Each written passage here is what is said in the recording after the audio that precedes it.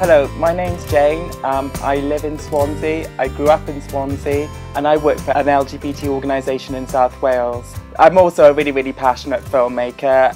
Yeah, the luminous screens, where's in focus, yeah, yeah, yeah. Area and sharp focus. So you can really, really, you know, when you've got your follows focus on, you can really be quite quick with focusing. That's nice. And it's also as well with the fluid head, you can get. I transitioned seven years ago, but I've always known how I was since I was like three or four years old, since my earliest memories. It was always a bit confusing for me because I never identified as a girly girl. I wanted to be an action adventure kick ass girl, not a sort of dainty little princess. It was a big shock to my family when I first come out. I you know it was a process for my parents, but I always remember the first birthday card I got off my dad to my beautiful daughter.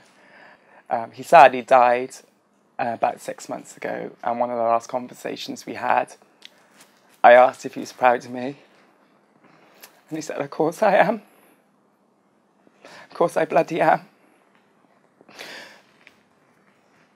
I spent the last night with him in hospital. It all happened really, really quickly, and I was so privileged to be there for him right until the very end. Like the important thing isn't money, isn't about reputation, isn't necessarily about career. It's about you know the people you love and who love you.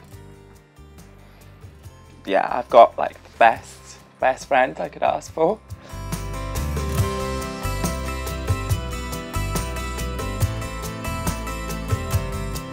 This is my best friend, Bonita. We, we used to know each other 15 years ago. We lost touch because life's like that sometimes. But when we got back in touch, I gotta be honest, I think it should have been more of a surprise than it was, but it wasn't. I was just really happy to have her back in my life. At her core, she is the same person, um, but so much has changed since then, confidence wise. When I when I first got back in touch with her, she wasn't really going out, and it was great, you know, to start getting her coming out dancing and meeting my friends as well. Just always proud to introduce Jayne to someone as I am introducing her to my friends as well. And she's just really taught me so much about life, and she's just amazing. She makes me so proud. We both support each other, it's not a one way street. She's incredibly supportive to me as well.